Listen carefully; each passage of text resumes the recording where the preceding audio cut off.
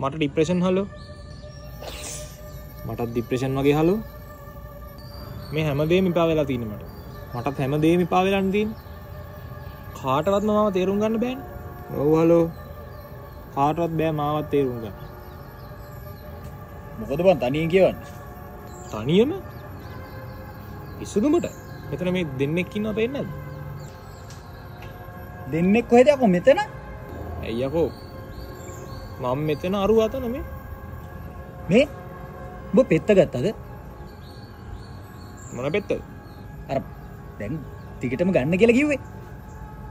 මං වෙලාට පෙත්ත ගහලඉන්න මට පේන්නේ පෙත්ත ගැහුවට හරි ගිල්ල නෑ වගේ.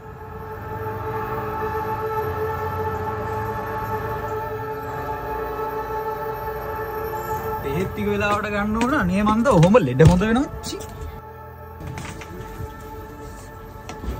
චි. මොකෝබ නෑබම් මේ අරුවර තනියම කියවන අතර බංගෝ ගවට වෙලා ඉදගෙන පෙත් අරගෙනත් දන්න. පෙත් අරගෙනත් නෑමං හිතන්න.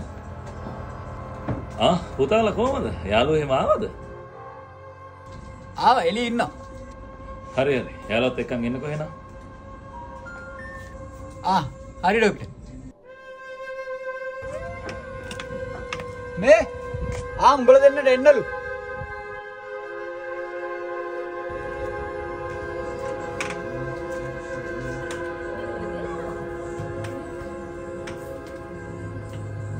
කොහොමද? දැන් බෙහෙත්තේම වෙලාවට බොනවද කට්ටිය? හොඳයි හොඳයි. බොහොම හොඳයි. දැන් පුතා ඔය ડિප්‍රෙෂන් කියලා ගොඩක් කට්ටිය පෙන්වන්න හදන දේ නෙමෙයි ડિප්‍රෙෂන් කියලා කියන්නේ. සමහරව ඉතින් තමන්ගේ හිතේ තියෙන කම්මැලිකමට නැත්තම් තමන් දෙයක් කරන්න බැරිකමට එහෙම නැත්තම් ඔය තනියක් නිකන් පොඩ්ඩක් දැනිච්ච ගමන් පාළුවේ තිච්ච ගමන් වැඩක් කරගන්න බැරි වෙච්ච ගමන් ડિප්‍රෙෂන් කියලා ඔළුවට ගන්නවා. නිදහසට කරුණක් විදිහට ඩිප්‍රෙෂන් ගොඩක් අය පාවිච්චි කරනවා. හැබැයි පුතාල කරපු දේ හරි. Tamanට එහෙම දැනෙනවා නම් මේ වගේ පිළිගත් වෛද්‍යවරයෙක් ගාවට ඇවිල්ලා බෙහෙත් ගන්න එක තමයි කරන්න ඕනේ. හරි හරි. කොහොම හරි.